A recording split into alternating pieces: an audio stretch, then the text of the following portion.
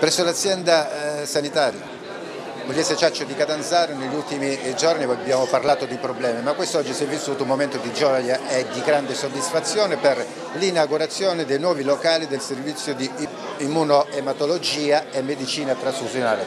E in questi, in questi giorni in cui si è parlato di criticità è un po' una boccata di ossigeno. Perfetto, questo dobbiamo dire che oggi è una giornata importante per la sanità caprese.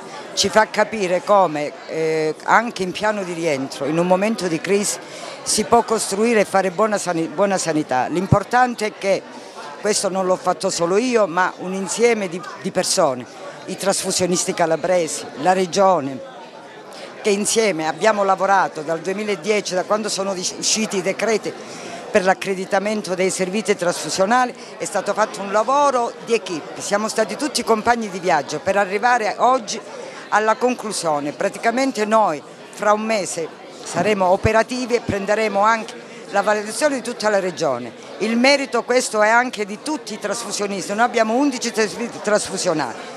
È stata divisa la lavorazione in tre dipartimenti, nord, centro e sud. Quindi il centro trasfusionale di Cosenza, diretto dal professore Zinno, praticamente lavorerà tutte le unità che vengono raccolte nel territorio delle, del Cosentino. A Reggio Calabria lo stesso, l'ospedale Reggio Calabria con, dove c'è il primario il dottore Alfonso Trimarchi, provvederà alla lavorazione di tutto il sangue raccolto su tutti i territori, quindi prenderà anche il sangue degli altri servizi trasfusionali da Cosenza e Reggio la validazione, quindi gli esami virologici per garantire che il sangue è buono può essere trasfuso, viene accentrato da noi. Noi dire, avremo la capacità di poter qualificare 70-80 mila unità di sangue. Le cose possono certamente cambiare e l'inaugurazione di oggi ci accompagnano in questa direzione. Sì, l'inaugurazione di oggi è, è la plastica dimostrazione che anche in Calabria si può fare e si può fare bene.